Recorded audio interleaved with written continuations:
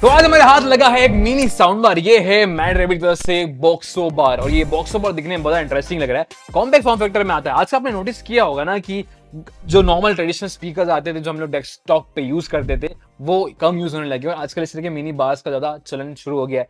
तो फ्रॉड इसके बारे में बातचीत करते हैं? उससे पहले सभी को, इंदौरी भाई की राम राम, क्या हाल चाल है? तो खोलते हैं डब्बा यहाँ पर डब्बा को देखने को मिलेगी। नॉर्मल सी पैकेजिंग कर रखी है, बहुत ही नॉर्मल पैकेजिंग यहाँ पे कर रखी है। जहाँ आपको फ्रंट में से रेड कलर का स्ट्रैप लगा रखा है, नाम लिखा हुआ है और कुछ की हाईलाइट दे रखे कंटेंट खोलोगे ना आप यहाँ पे साइड में सबसे पहले आपको मिल जाएँगे कुछ केबल्स केबल्स आपको मिलती है, सबसे पहले आपको ऑक्स केबल मिल जाती है, जो कि उन्होंने साथ में बंडल कर रखी है। और एक आपको मिल जाती है चार्जिंग केबल अब यहाँ पे जो चार्जिंग केबल है, वो यूएसबी टू टाइप बी वाली मिल जाती है।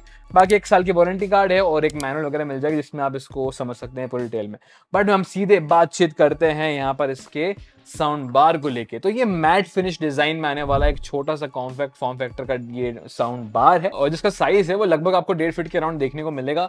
मेरे हिसाब से बहुत ही सही साइज़ साइज़ है और अगर आप इसको डेस्क के नीचे रखते हो, काफ़ी परफेक्ट ये दिखता है। मैट फिनिश के साथ में आता है फ्रंट में आपको मेटेलिक ग्रिल देखने को मिल जाती है। मैट रेबिट का लोगो लगा रखा है। नीचे आपको यहाँ पर इसमें जो है ग्रिप के लिए प्रोवाइड कर रखे हैं स्ट्रैप्स ताकि आप इसको सरफेस पे रखते हैं। बेस वगैरह जब आएगा इसमें तो एक खसकेगा नहीं एक जैसा स्ट्रिक रहेगा वहाँ पे।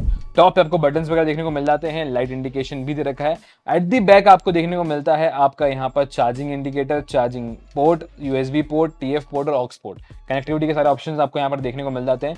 एंड एट दी एंड यहाँ पर आपको बिल्ट इन माइक्रोफोन भी दे रखा है ताकि आप इस पर कॉल वगैरह भी अटेंड कर सकते हैं। तो ये है कुछ बार और काफ़ी लाइट वेट भी देखने को मिलता है। कैरी वगैरह करने के वास्ते ईजी भी है। अगर आप इसको नॉर्मल स्पीकर वगैरह के तौर पर भी यूज़ कर रहे हैं तो बैग में आप इसको ले आ सकते हो। लैपटॉप बैग वगैरह में ये आराम से रखा भी जाता है। बट मैं बात करूँगा ऐसे कुछ की एस्पेक्ट्स को लेकर जैसे कि आप ये बार देख रहे हैं 16 वॉट के आउटपुट के साथ में आता है। जहाँ आपको 52 टू mm के दो ड्राइवर्स देखने को मिलते हैं, एक राइट चैनल के लिए और एक लेफ़्ट चैनल के लिए। तो दो ड्राइवर्स यहाँ प्रोवाइड कर रखे हैं, जो आपका यहाँ पे साउंड जनरेट करते हैं। एट और एट यानी कि टोटल आपका जो है सिक्सटीन वॉट का आउटपुट यहाँ पर हो जाएगा। अच्छा अब डिवाइस की आउटपुट की बात यहाँ पर आई है तो लाउडनेस इसकी काफ़ी अच्छी मिल जाती है आपको। और क्लैरिटी को लेके बात करूँ मैं साउंड को यहाँ पे तो क्लैरिटी भी मुझे अच्छी लगी है ट्रेबल्स की स्पेशली बोलना चाहूँगा। ट्रेबल्स काफ़ी क्लियर हैं क्लीन आपको सुनाई देते हैं। बट दिक्कत सिर्फ़ यहाँ पर एक ही है, जो कि इसका बेस बेस में आपको यहाँ पर डिसेंट पंचनेस देखने को मिलती है। एक्सट्रीम हेवी बेस आप एक्सपीरियंस नहीं कर सकते। और बेस की बात है, क्योंकि अभी कॉम्पैक्ट फॉर्म फैक्टर में आता है डेडिकेटेड आपको यहाँ पे सब ऊपर नहीं देखने को मिलता। तो फिर आप बेस का जो एक्सपेक्टेशन है, वो भी लिमिटेड रखेंगे। बट जो इसकी साउंड क्वालिटी है, यानी कि जो उसके ट्रेबल्स हैं, उसके बैलेंस आपको यहाँ पर बेस मिलेगा और आपको फील प्रॉपर होता है वो। तो मेरे हिसाब से आपको बेस में कोई दिक्कत नहीं है तो मैंने यहाँ पे कुछ सैंपल टेस्ट भी कर रखे हैं म्यूज़िक के तो वो आप चेकआउट कर सकते हैं।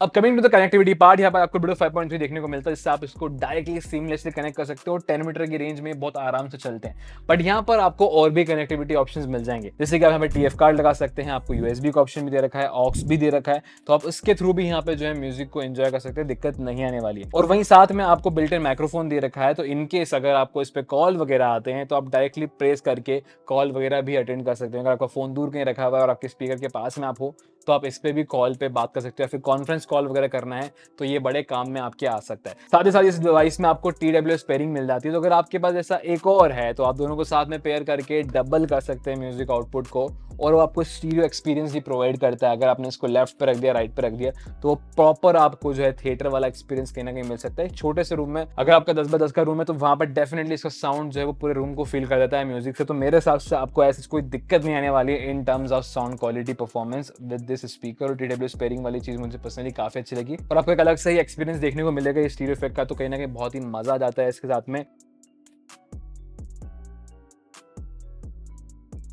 अब मैं कंक्लूजन को लेकर बात करूँगी कि प्राइसिंग एक बड़ा फैक्टर है और प्राइसिंग की जब बात करते हैं तो ये बहुत ही लिमिटेड प्राइसिंग में आपको देखने को मिलता है। कि फिफ्टीन हंड्रेड रुपीज़ के प्राइस पे ये आपको स्पीकर मिल जाता है। स्पीकर की क्वालिटी काफ़ी अच्छी है साउंड वगैरह मुझे पर्सनली काफ़ी अच्छा लगा मैट फिनिश में आते हैं और छोटे फॉर्म फैक्टर में है तो अगर आप इसको as a desktop speaker use कर रहे हैं या फिर लैपटॉप स्पीकर भी यूज़ कर रहे हैं तो काफ़ी अच्छा और नॉर्मल अगर आप रेगुलर वे में ब्लूटूथ स्पीकर ढूंढ रहे हैं तो भी ये एक अच्छा साउंडिंग वाला आपको बार देखने को मिलेगा। और ये आपको अवेलेबल हो जाता है इनके ऑफिशियल वेबसाइट पे अमेजोन और फ्लिपकार्ट पे भी।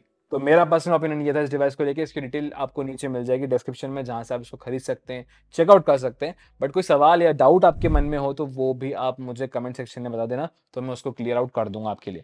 फ़िलहाल बस ये था इस वीडियो में। लाइक कर देना, दोस्तों का शेयर कर देना, और नए आए हो चैनल पर तो सब्सक्राइब वाला बटन आपके लिए दबा के ज़रूर से जाना।